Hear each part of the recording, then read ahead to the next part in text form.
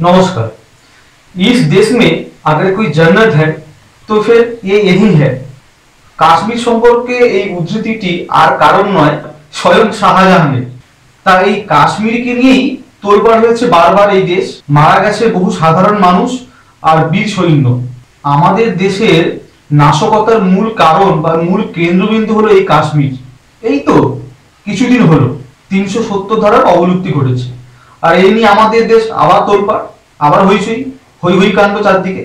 এখন কেউ কেউ বলছেন যে এটি হলো একদম ক্ষমতার অপপ্রয়োগ, আবার কেউ বা কারা বলছেন যে না না, এটা একদম সঠিক। এটাই হচ্ছে ক্ষমতার সঠিক ব্যবহার বা সঠিক প্রয়োগ। স্পষ্টতই দেশের মানুষ আজ দুভাগ। কিন্তু মজার কথা হলো এই যে, কেউ কিন্তু নিশ্চিতভাবে বা স্পষ্টভাবে বলতে পারছেন না কাশ্মীরের মানুষগুলোর আদৌ এতে কোনো মঙ্গল হবে কিনা, কোনো ভালো হবে কিনা। আদৌ কি ভালো হবে না মন্দ হবে?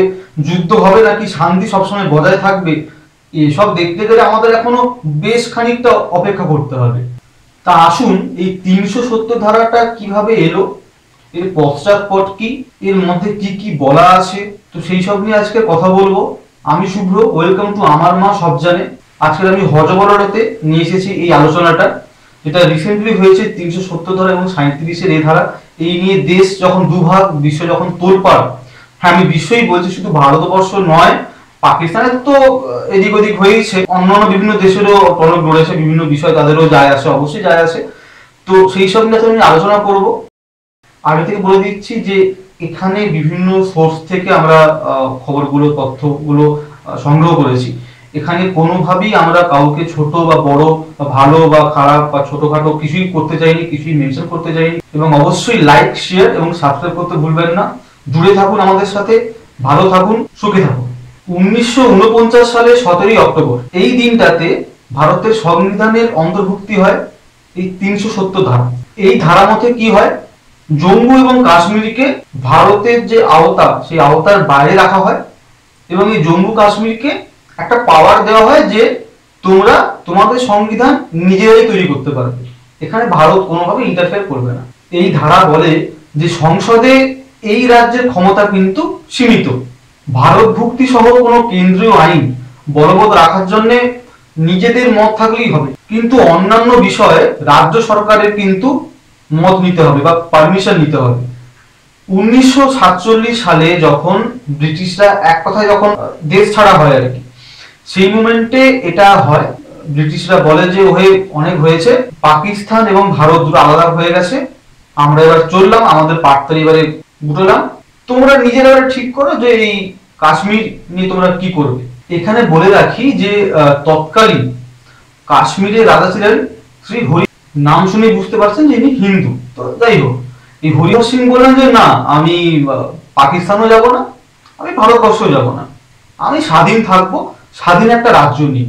তো এরকম একটা তিনি যখন মত পোষণ করেন, সেটা দুই দেশ মেনে নেয় এবং পাকিস্তান, ভারত এবং তিনি ত্রিপাক্ষিক একটা একটা স্বাক্ষর হয়, একটা স্থিতাবস্থার চুক্তি।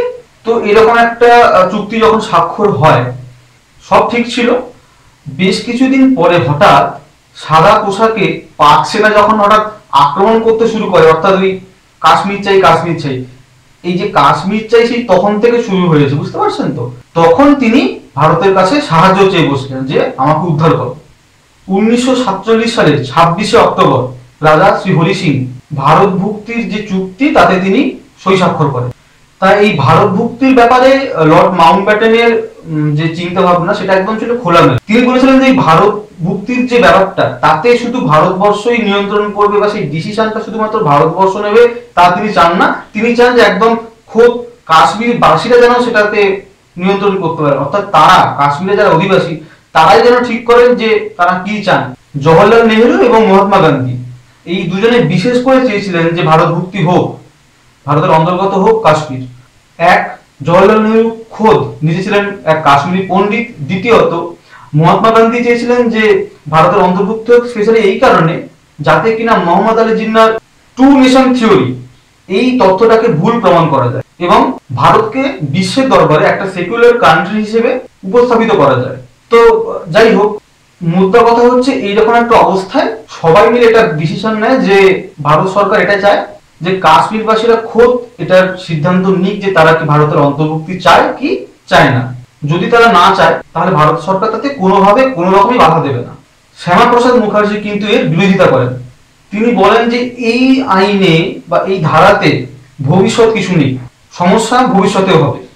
তো যাই হোক, তিনি কাশ্মীরে যান এবং সেখানে দেখেন যে বিভিন্ন হাঙ্গার স্ট্রাইক হচ্ছে, বিভিন্ন অনশন হচ্ছে। তো সেই সব কিছুর মধ্যে উনি পড়ে উনি এটা খুব কাছ থেকে রিয়েলাইজ করেন যে আদপে কাজের কাজ কিছু হচ্ছে না। মানে কাশ্মীর কার হবে সেইটা নিয়ে পাকিস্তান এবং ভারতের খুব মাথা ব্যথা। কিন্তু আদপে কাশ্মীর বাসীর কি চলছে অবস্থা, কি সিচুয়েশনের মধ্যে দিয়ে তারা যাচ্ছে, সেটা নিয়ে কিন্তু বিন্দুমাত্র কোনো সরকারের কোনো রকমই এতটুকু হলেও কোনো হেল নেই। এগারোই মে তিনি লখিমপুরে অ্যারেস্ট হন এর বিরোধিতা করতে গিয়ে এবং তেইশে জুন তিনি রহস্যজনকভাবে মারা যান। এখানে আমি আরও একটা তথ্য এখানে অ্যাড করব। তিনি যখন মারা যান, তখন প্রধানমন্ত্রী কে না, জওয়াহরলাল নেহরু। এবং শ্যামাপ্রসাদ মুখার্জি যখন কারাগারে বন্দি, সেই সময় কিন্তু জওয়াহরলাল নেহরু বিনোদ ভ্রমণে গেছিলেন। বিনোদ ভ্রমণ বলতে বিনোদন প্লাস ভ্রমণ, অর্থাৎ বিনোদ ভ্রমণ। ওই আর কি, দাদা, দাদারা কিংবা প্রধানমন্ত্রী যেরকম যায় তো ওই বিনোদ ভ্রমণে উনি কাশ্মীরেই যান, উনি কিন্তু দেখা করেননি কোনোভাবেই। তো এটা একটা ফ্যাক্ট কাশ্মীরের যারা অধিবাসীরা, তারা আস্তে আস্তে তিনটে ভাগে বিভক্ত হয়ে যায়। একদল চায় যে তারা পাকিস্তানের অন্তর্ভুক্তি হোক, দ্বিতীয় দল চায় যে না, আমি আজাদি চাই, অর্থাৎ স্বাধীন কাশ্মীর চাই। না, আমি পাকিস্তানের হব, না, আমি ভারতবর্ষের হব, আমি স্বাধীন থাকব। আরেক পক্ষ চায় যে না, আমি ভারতবর্ষের সাথেই যুক্ত হতে চাই, অর্থাৎ আমার দেশ কাশ্মীর বা আমার রাজ্য কাশ্মীর যুক্ত হোক ভারতবর্ষের সাথে। তো এই পাকিস্তানে ফিরে যাব, এটা কিন্তু এমনি এমনি আসেনি। এটা যাকে বলে কমপ্লিটলি ব্রেন ওয়াশ বা মাইন্ড ওয়াশ যাকে আমরা বলে থাকি, সেটাই করা হয়েছিল। উনিশশো ছিয়াশির পর থেকে মুসলিম ইউনাইটেড ফ্রন্ট হ্যাঁ মুসলিম ইউনাইটেড ফ্রন্ট, এই দলটি আস্তে আস্তে ধীরে ধীরে কাশ্মীরবাসীর মনের মধ্যে চেঞ্জ আনার চেষ্টা করে। কীরকম চেঞ্জ যে যাতে তারা পাকিস্তানের অন্তর্ভুক্তি হওয়ার জন্য দাবি জানায়। ঠিক এই সুযোগে পাকিস্তান আস্তে আস্তে করতে থাকল কি? বিভিন্ন নেশার সামগ্রী, বিভিন্ন অস্ত্রশস্ত্র, বোম থেকে শুরু করে কার্তুজ থেকে শুরু করে পিস্তল, রিভলভার যা থাকে আর কি, গ্রেনেড সবকিছু গোপনে চালান করতে লাগল। এবং আস্তে আস্তে ওই কাশ্মীরের মধ্যে যে তিন শ্রেণির, তিন মানে মানসিক দিক দিয়ে তিন রকম যে মানুষ হয়ে গেছিল, যে একদল চায় পাকিস্তানে ফিরে যেতে, তো পাকিস্তানে ফিরে যেতে এমনি এমনি তাকে ব্রেন ওয়াশ করা হয়েছে এবং তাদের হাতেই ধরিয়ে দেওয়া হয়েছিল গ্রেনেড পিস্তল এবং নেশার সামগ্রী। তো আস্তে আস্তে সিচুয়েশন এমন হয়ে যায় যে প্রত্যেকে আতঙ্কে থাকতে শুরু করে। একদিকে পাকিস্তান চেষ্টা করছে নেশার জিনিস দিয়ে, অস্ত্রশস্ত্র দিয়ে ব্রেন ওয়াশ করিয়ে পাকিস্তানে যাতে পাকিস্তানে অন্তর্ভুক্তি করার জন্য তারা দাবি জানায়। সেই চেষ্টা চালিয়ে যাচ্ছে। অন্যদিকে ভারত চাইছে যে না, পাকিস্তান যেন না যায়। ভাবুন যে একটা দেশ যেখানে ন্যূনতম স্বাস্থ্যের পরিষেবা নেই, শিক্ষার কথা তো ছেড়েই দিলাম। সেখানে পাকিস্তান এবং ভারতবর্ষ দুজনে কার অন্তর্ভুক্তি হবে সেই নিয়ে লড়াই করে যাচ্ছে। তিনশো সত্তরের ধারা থেকে প্রবাহিত হয়েছে পঁয়ত্রিশের এ তো তাতে কি বলা হয়েছে? এক চটকায় জেনে নেব। এই ধারা অনুযায়ী জম্মু এবং কাশ্মীরের যারা অধিবাসী তাদেরকে একটা বিশেষ ক্ষমতা প্রদান করা হয় যাতে তারা ঠিক কি চান সেটা তারা গণভোটের মাধ্যমে সেটা চুজ করতে পারবেন এবং তাদের ঠিক কি কি ধরনের অধিকার থাকবে বা থাকতে পারে?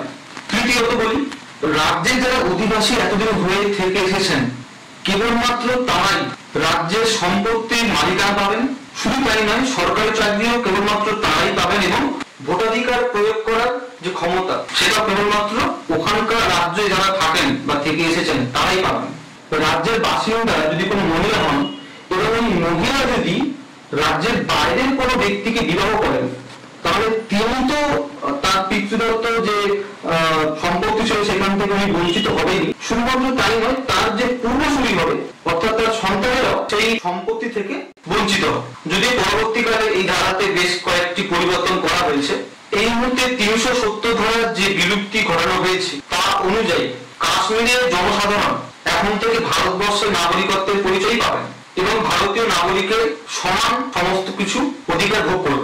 উনিশশো উননব্বই চোদ্দই সেপ্টেম্বর টিকারের কাবুল নামে কাশ্মীরি পণ্ডিত প্রথম খুন হন, আক্রান্ত হয়ে তিনি খুন হন। আরও একটি ছোট্ট ঘটনা আমি এখানে উল্লেখ করতে চাইব উনিশশো সালে তৎকালীন মুখ্যমন্ত্রী শাহ সরকারি আবাসনের একটি এরিয়ার মধ্যে একটি মন্দির ছিল, সেখানে তিনি মুসলিমদের নামাজ পড়ার একটা ব্যবস্থা করে দিতে চেয়েছিলেন। এর ফল হয়েছিল ভয়াবহ।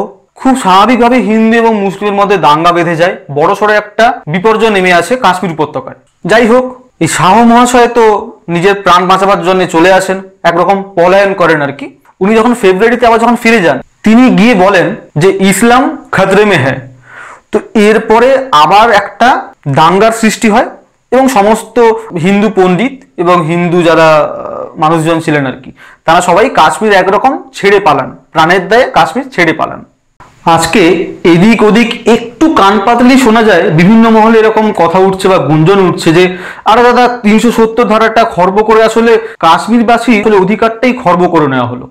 কিন্তু মজার কথা হচ্ছে এই যে, কাশ্মীরবাসীদের কি আদৌ কোনোদিন এতটুকু হলেও কোনো অধিকার ছিল? তারা কি কোনো রকম সুবিধে, কোনো রকম অধিকার তারা ন্যূনতম হলেও পেয়েছে বা প্রয়োগ করতে পেরেছে? ভেবে দেখেছেন কখনো? আমার বা আপনার মতো মানুষ যারা একটু সময় পেলে নিজের পরিবারের সাথে সময় কাটাতে ভালোবাসেন। তাদের কাছে কাশ্মীর বললে একটা ছবি এখন মনে ভাসে, এক অশান্ত পরিবেশের কথা। সঠিক না ভুল সিদ্ধান্ত নিয়েছে, সেটা না আপনি, না আমি পারব এর উত্তর দিতে। এর উত্তর একমাত্র কাশ্মীরবাসী সঠিক সময় জানাতে পারবে। এখন এটা হতেই পারে বা এটা হয়তো হবেও যে একদল মানুষ হয়তো এটার বিরোধিতা করবে। যে তারা জানাবে যে না, তারা এই সিদ্ধান্তের সাথে অর্থাৎ ভারতের সাথে যে অন্তর্ভুক্তি হলো কাশ্মীরের, এটার সাথে তারা কোনোভাবেই একমত নয়। তারা হয়তো দ্বিমত পোষণ করতে পারেন। তো এই মানুষগুলো তাহলে হবেটা কি? তার জন্য প্রস্তুতি বোধহয় এই সরকার অনেক আগে থেকেই নিয়ে রেখেছে।